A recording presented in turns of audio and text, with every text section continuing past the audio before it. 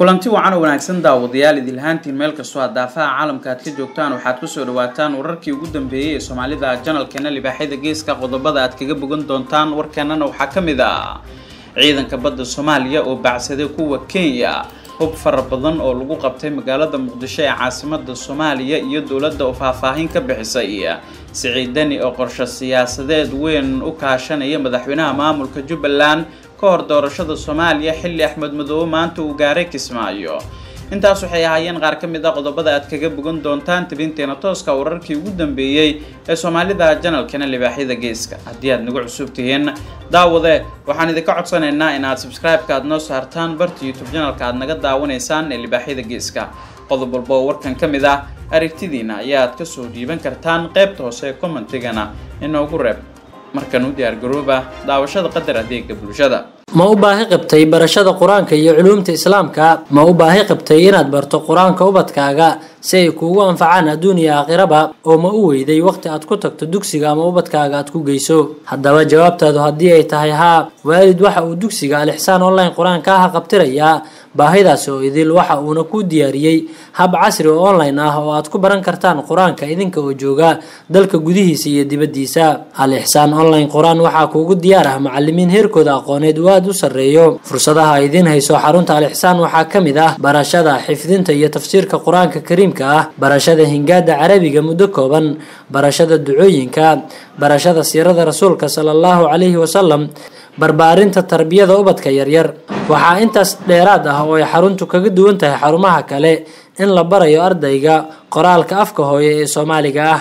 Wixii faahfaahin dheeraad ah kala soo xiriir lambarada shaashada kaaga muuqda.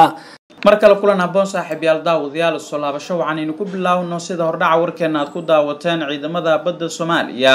Ayaa baacsaday kuwa kenya ciidamada badda ah ee dowladda kenya ayaa dhaqdhaqaaqyo military waxa ay ka sameeyeen aagga maxkamadda cadaaladda adduunka i c j dhowaan xukunka ay ka soo saartay qaybta muhiimka ah ee muran ka gelisay dowladda kenya ay maxkamadda cadaaladda adduunka i c j noo xukuntay. Ciidankan ayaa la sheegay in dhaqdhaqaaqi ay ka wadeen hareeraha goobta xukunka maxkamaddu ay ka soo saartay. Waxaana durbo ka warhelay ciidanka difaaca badda soomaaliya oo watay doomo kala duwan iyo sidoo kale maraakiib dagaal oo dowladda turkiga ugu deeqday soomaaliya. Waxaana durbo ay baacsadeen. Islamarkaana ay ersadeen ciidankii kenyaatiga ah ee halkaas ku sugnaa. Waxaana goobtaas isaga baxsaday ciidankii dowladda kenya iyadoo la sheegay in ciidanka dowladda federaalka soomaaliya gaar ahaan kuwa ilaalada xeebaha soomaaliya ay durbo fariisin ka samaysteen halkii ay ka soo hayaameen. Ciidamada badda dowladda kenya oo rabay in halkaasi ay ka sameeyaan kalluumeysi sharci darra ah iyo sidoo kale dhaqdhaqaaqyo ay gebi ahaanba ku burinayaan go'aanka maxkamadda cadaaladda adduunka i c j. Geesiyaasha dalkeenna hooye ee soomaaliya ee har iyo habeen u taagan in dalkeenna ay ka difaacaan cid kasta oo isku soo dayda in madax banaanida dalkeenna ay ku soo xadgudbaan ayaa gebi ahaanba u diiday hankii ay lahaayeen ciidamada kenya. Kenya ayaa tan iyo markii maxkamadda cadaaladda adduunka i c j ay soo saartay go'aan si weyn uga caraysiiyey waxa ay bilaabeen dhaqdhaqaaqyo kuwaas oo ay ku muujinayaan cududooda. Inkasta oo ay jirto dhaqdhaqaaqyadaasi haddana dowladda federaalka soomaaliya ayaa iyana dhaqdhaqaaq aan ka liidan midka kenya ka wada xadka iyo badda soomaaliya. Hub iyo sidoo kale saanad kale oo ciidan ayay dowladda taageera soomaaliya ay ku caawiyeen waxayna keentay in ciidamada soomaaliyeed ay u fududaato amaba ay u sahlnaato inay si toos ah ay uga hortagaan hanka dowladda kenya ee la xidhiidha in xadgudub aan loo meeldayan ay ka geystaan biyaha iyo beriga soomaaliya. Hub fara badan ayaa la soo geliyey magaalada muqdisho ee caasimada soomaaliya iyadoo dowladda federaalka ah ee soomaaliyana war ay ka soo saartay. Ciidamada ammaanka dowladda federaalka soomaaliya ayaa xalay howlgal qorsheysan ka sameeyey ilaa afar degmo oo ka tirsan gobolka banaadir waxaana lagu xaqiijinayay ammaanka magaalada muqdisho ee caasimada soomaaliya. Howlgalkan ayaa waxaa si gaar ah looga fuliyay xaafado ka tirsan degmooyinka xamar jajab waaberi hodan iyo holwadaag oo ka wada tirsan gobolka banaadir. Ciidamada howlgalka fulinayay oo ka tirsan booliiska soomaaliya ayaa baarayay inta uu howlgal ka socday gaadiidka mootooyinka iyo dadka socda oo ay su'aalo weydiinayeen. Wararka ayaa sidoo kale sheegaya in ciidamadu ay gacanta ku dhigeen tiro dhalinyaro ah kuwaas oo hal goob la isugu geeyay iyagoo markii dambe badi la fasaxay kuwaas oo mas'uuliyiintii hogaaminaysay howlgalkan ay la hadleen taliya ku-xigeenka labaad qeybta booliiska gobolka banaadir saciid cali maxamuud bareere oo ka warbixinaya howlgalkan ayaa sheegay in ujeedadu uu ahaa sugidda amniga magaalada muqdisho ee caasimada soomaaliya.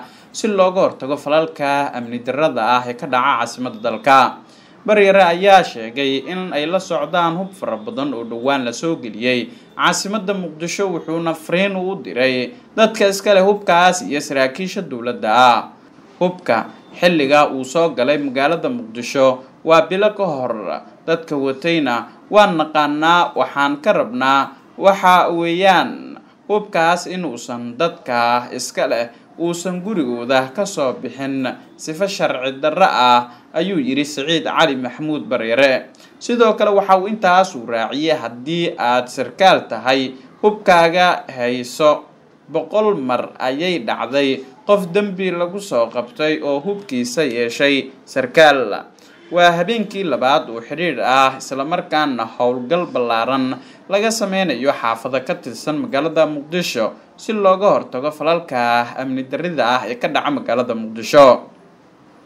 Howlgalladan ayaa dhinaca kale daba socda amar ka soo baxay taliyaha booliiska federaalka soomaaliya uu faray hay'adaha ammaanka inay u howlgalaan sugidda ammaanka maadaama gudaha magaalada muqdisho ay ka dhacayso doorashada kuraas ka mid ah golaha shacabka baarlamaanka federaalka ah ee soomaaliya. Si kastaba maalmihii ugu dambeeyey ayaa waxaa gudaha magaalada muqdisho ka dhacayay falalida kuwa ammaanka isugu jira qaraxyo dil iyo dhac loo geysanayo dadka shacabka ah. Qeybaha kala duwan ee bulshada caasimada muqdisho ayaa cabasho dhowr jeer hore ay mariyeen warbaahinta. Waxa ay keentay in taliyaha ciidanka booliiska uu amro in si deg deg ah looga qabto falalka amni darida ah iyo dhibaatooyinka qaar ee shacabka muqdisho soo wajahday tanii markii howlgalladan ay bilaabeen ciidamada booliiska soomaaliya waxaa gebi ahaanba meesha ka baxay. Isku dayga ragga burcadda ah oo ay ku doonayeen inay ku dhibaateeyaan dadka shacabka. Ah markan haddii aynu eegnana dani ayaa qorshe siyaasadeed weyn u kahashanaya madaxweynaha maamulka jubbaland axmed maxamed islaam axmed madoobe ka hor doorashada soomaaliya. Xilli axmed madoobe maanta uu gaaray garoobe. Madaxweynaha dowlad goboleedka jubbaland axmed maxamed islaam axmed madoobe iyo wafdi uu hogaaminayo ayaa maanta gaaray magaalada garoobe ee xarunta u ah maamulka puntland. Sidoo kalena xarun u ah gobolka nugaal sida ay libaaxyada u xaqiijiyeen ila xogogaala safarka axmed madoobe ayaa yimid kadib markii uu madaxweynaha maamulkaasi siciid cabdilaahi dani ka dalbaday inay kulmaan si ay diiradda u saaraan qorshaha ku saabsan hamiga dani ee uu ka leeyahay xilka madaxweynaha soomaaliya. Wararka ayaa intaas ku sii daraya in qorshaha deni ay qeyb ka tahay in dhigiisa axmed maxamed islaam axmed madoobe uu ku gacansiiyo sidii uu si dadban u maamuli lahaa islamarkaana uu gacanta ugu hayn lahaa kuraasta ka soo baxaysa jubbaland ee labada aqal ee aqalka sare iyo aqalka hoose maadaama ay xulafo siyaasadeed yihiin. Sidoo kale waxa ay ka wada hadli doonaan bilaabista doorashada golaha shacabka. Oo ayana si horudhac ah uga bilaabatay guud ahaan dalka islamarkaana muhiim u ah doorashada soo socota ee madaxweynaha oo si weyn loogu tartamayo qeybna ay ka yihiin maamulada dalka madaxweynaha maamulka jubbaland axmed maxamed islaam axmed madoobe iyo siciid cabdilaahi deni ayaa ah saaxiibo siyaasadeed oo si aada isugu dhow islamarkaana xulafadoodu ay sii xoojisay tan iyo markii ay bilaabatay dooda doorashada.